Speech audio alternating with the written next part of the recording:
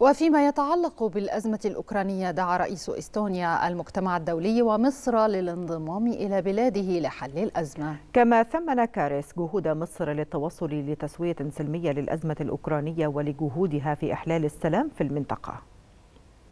بالهجوم الروسي على أوكرانيا وهي قضية حساسة. والسلام يمكن أن يؤثر على السلامة ونزاهة الأراضي. السلامة الإقليمية لإسلونيا وكذا فإننا مع أوكرانيا ندعو إلى المجتمع الدولي ومصر للانضمام إلينا في هذه الجهود. نحن نشجع جهود مصر من أجل التوصل إلى صياغة سلمية في أزمة الأوكرانية الروسية.